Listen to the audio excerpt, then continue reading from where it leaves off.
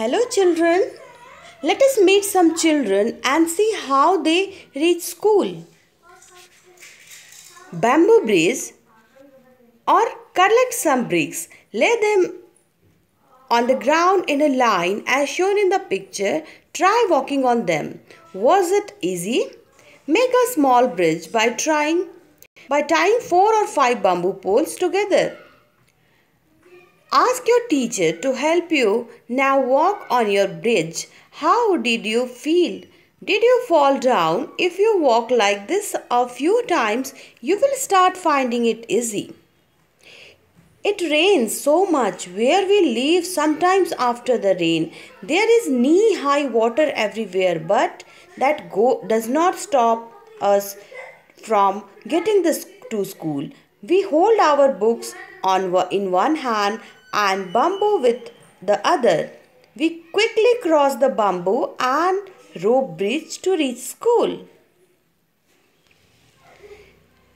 Make a small bridge by tying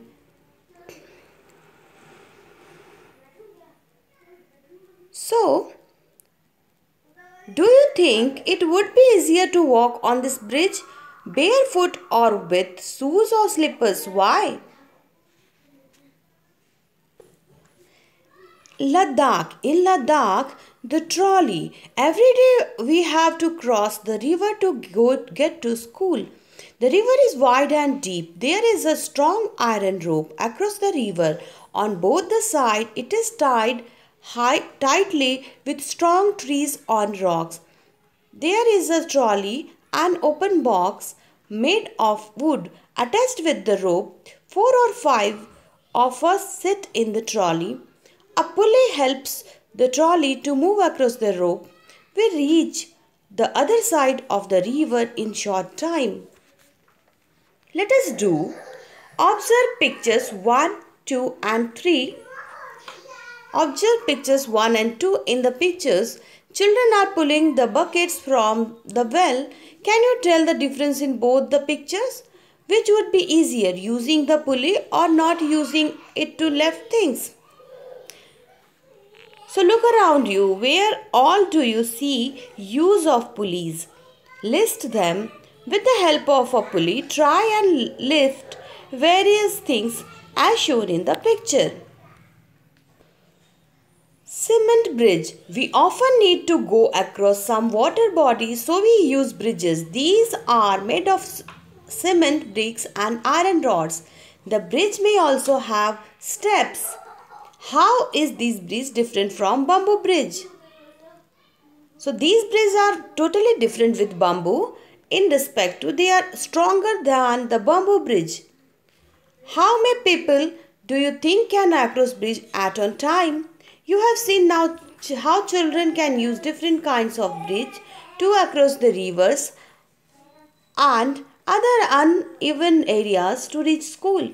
If you had a chance, which bridge would you like to use and why? Do you have across any bridge on the way to your school? If yes, what is the bridge like? Find out from your grandparents what kind of bridges were there when they were young. Is there any bridge near your house? Find out more about the bridge. Where is the bridge? Over water, over a road, between two mountains or somewhere else. Who all uh, use the bridge? Is it used by people on foot and also by vehicles and animals? Does the bridge seem to be old or is it new? Find out what materials are used in making this bridge. List some of them. Draw a picture of the bridge in your notebook. Do not forget to draw the train, vehicle, animals or people who cross the bridge. Imagine what difficulties there would be if the bridge was not there. Let us find out some other ways by which children go to school. Vallam. Vallam in some parts of Kerala, we use a vallam. Vallam is a what? Vallam is a small wooden boat to reach school.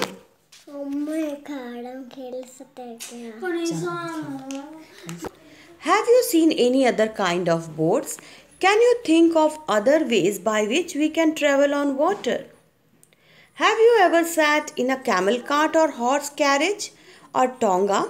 Where did you climb on it yourself or did someone help you? How did you feel riding in a cart? Also, see your experience in the class also. We live in a desert. There is a sand all around. It gets very hot in the day. We ride in a camel cart to reach school. So here in picture you see the children, those who are traveling to school by the camel cart in the Rajasthan. Another one way that is bullock cart. We ride in our bullock cart going slowly through the green fields. If it is too sunny or raining, we use our umbrellas. This is the picture of village in the plains. Do you have bullock carts where you live? Does it have a roof? What kind of wheels do they have? Make a drawing of the cart in your notebook.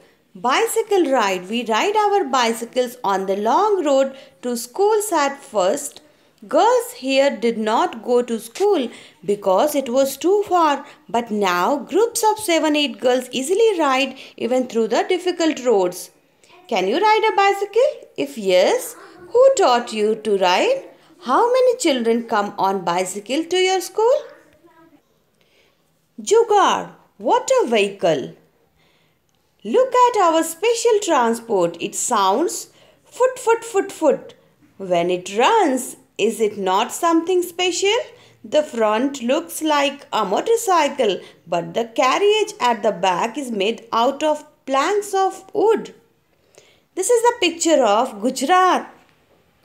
Do you have such vehicles in your area? Do you, what do you call them in your area? Would you like to ride in something like this? Why? Can you tell why it is called jugaad? The jugaad has been made by using waste materials. They don't you also try to make something by? Why don't you also try to make something by putting together some waste material? Can you think a place where none of these vehicles can reach? Yes, there are such places. Children cross the jungle. We have to go through a thick forest to reach school. At some places, it is so thick that even sunlight does not pass through. It is also very silent there. You can only hear the sounds of different birds and other creatures. Have you ever been a thick jungle or any such place? Write your experience in your notebook. Can you recognize some birds by their sounds?